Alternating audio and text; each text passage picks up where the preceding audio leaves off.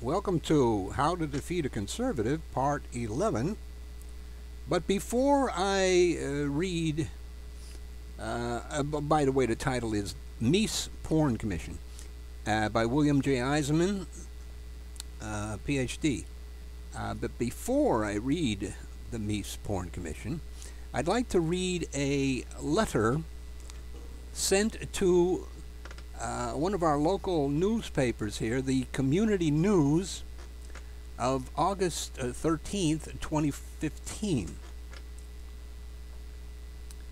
New Jersey has a program that pays the Medicare Part B premium for the poor.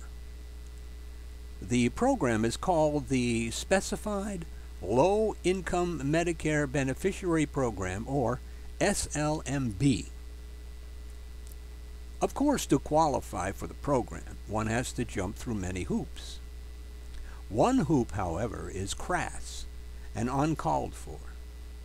It seems that if a low income applicant has whole life insurance, the cash surrender value on that policy is treated as income. This is mind blowing. If the cash surrender value on a life insurance policy is income, then so is capital gains. And what if someone on welfare finds $850 on the street? Is that income?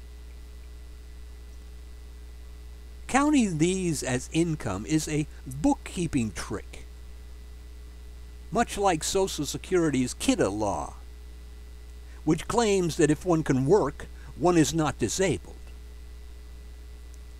One United States Supreme Court justice claims that if one can brush his teeth, he's not disabled. Then there is the problem that if one surrenders his life insurance policy, he will have no money to take care of his final expenses. He will have robbed himself of security. Life insurance surrender value is not income. And New Jersey needs to admit this and stop punishing low income individuals with this hocus pocus bookkeeping trick. And of course, that was written by William J. Eisenman. And now to How to Defeat a Conservative, Part 11. In May of 1985, President Ronald Reagan's Attorney General, Edwin Meese, set up a commission to study the effects of pornography. Meese said the formation of the committee was related to the achievement of the good life and the good society. Every political conservative who had problems with pornography wanted to be on the committee. Henry Hudson, chief prosecutor of Arlington County, Virginia, a rabid opponent of porn, was appointed chairman. Alan Sears, a federal prosecutor for Kentucky, was appointed the commission's executive director. In 1983, Alan Sears prosecuted the Sovereign News Company for obscenity. Yet Sears said he was coming at this with a very open mind. I do not believe the Commission is coming in with a bias.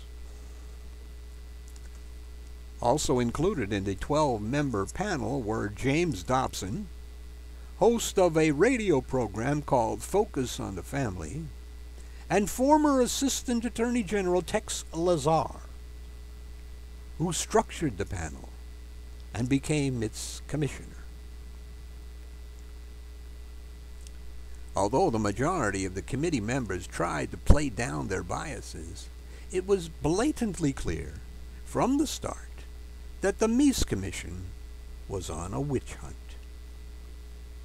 The committee was determined to bring in a negative verdict the hidden agenda of the committee was to find new ways to control or eliminate pornography. Even before the committee brought in its final results, It gave the nod to major changes in obscenity laws. When Executive Director Alan Sears was asked to comment on this unorthodox behavior, he said, If the Commission doesn't find any harms, we'll throw the whole thing out. The Meese Commission proved to be inept and neurotic. It sought testimony only from police, prosecutors, and so-called victims of porn. The Commission did not want to hear from authors, booksellers, actors, or those in favor of porn. The so-called victims of porn testified from behind a screen and were not allowed to be cross-examined. The evidence presented by the so-called victims of porn was skewed, artificial, and some of it was not true. One of the so-called victims of porn was Linda Lovelace, the star of the X-rated movie Deep Throat.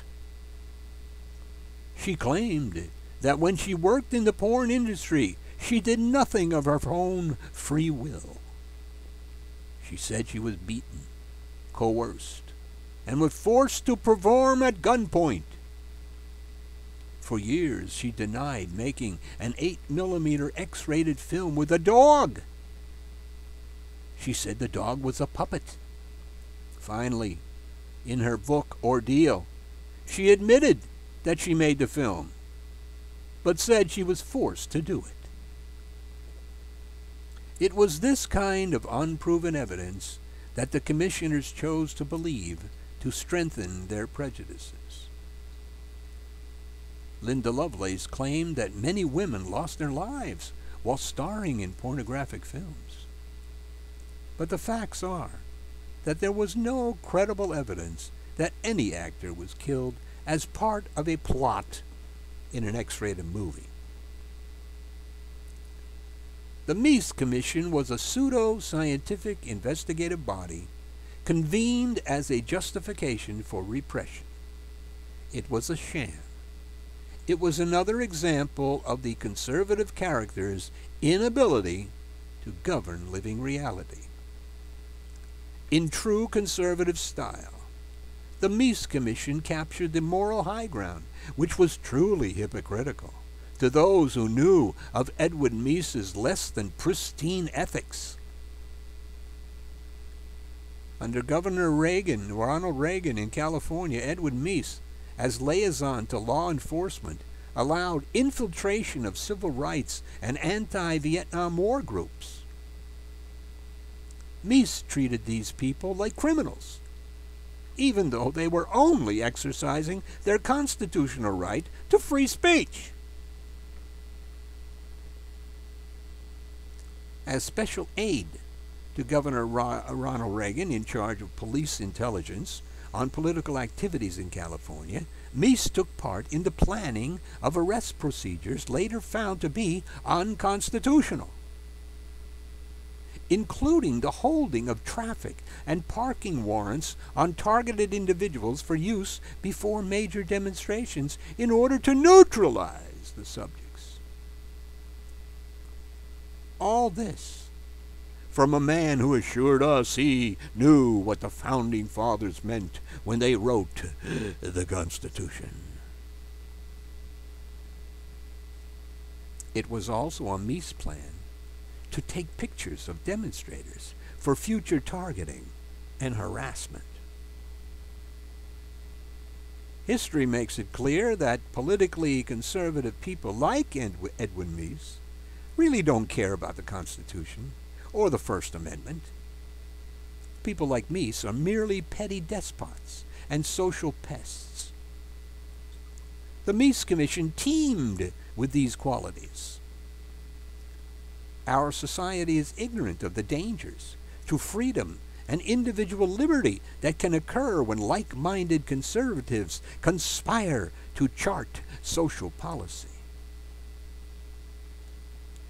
Some researchers who worked on the Meese Commission's report said it drew conclusions that were not supported by the research. Some commissioners were not allowed to see the galley proofs of the report and were unaware of last minute changes made by the staff. There were also dissenting opinions offered. The rigid conservatives on the commission were unable to face the fact that pornography might have positive effects, that it could be therapeutic, and might lead to less sexual crimes. They closed their eyes to the fact there is no relationship between pornography and crime. They didn't want to admit that there is a relationship between crime and poverty, and between alcohol consumption and crime.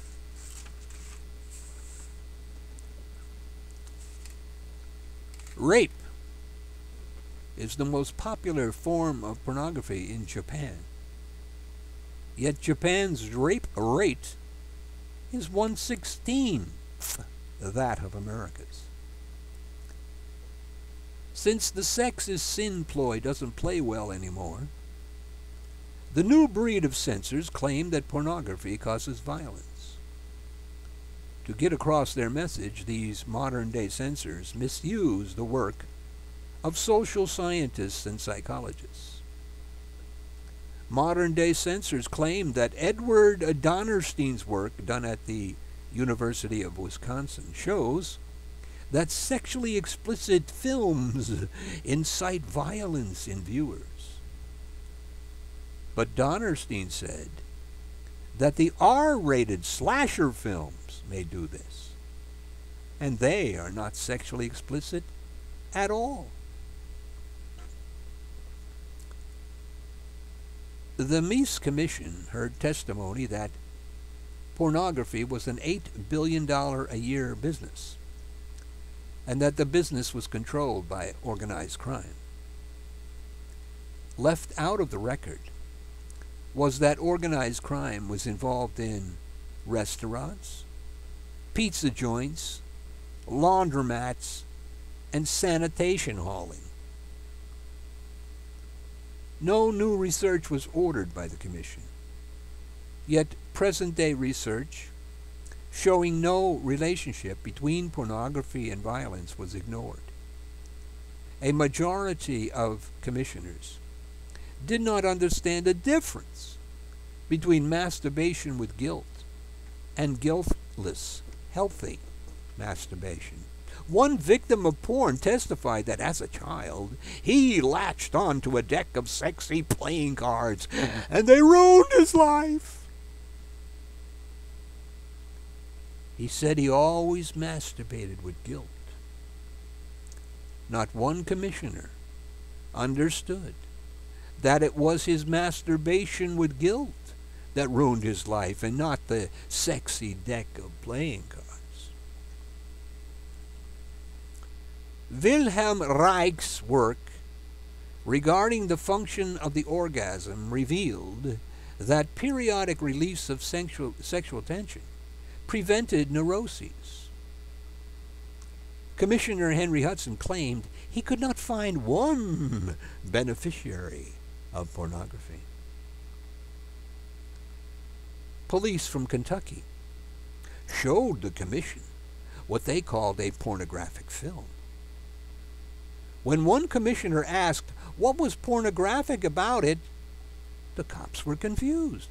Well, can't you see it? The cops asked. Sex should be private and between married people. These are the types of people who once censored Romeo and Juliet and Alice in Wonderland. Ellen Levine a dissenting member of the Meese Commission stated that the Commission failed to collect enough evidence to support its major finding that there is a link between pornography and sex crimes. Dr. Judith Becker, another dissenting member of the Commission, said that the social science research has not been designed that can evaluate the relationship between exposure to pornography and the commission of sex crimes.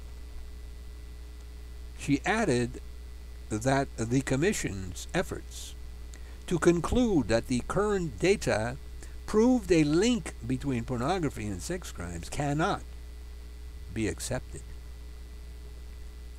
These dissenters were on the right track, but they too had a problem with the eroticization of violence. They did not possess the knowledge that would have enabled them to understand that violence and genitality are mutually exclusive.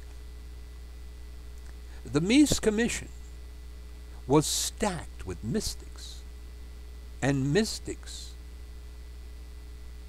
make bad social policy. Mysticism is based on faith, not reality.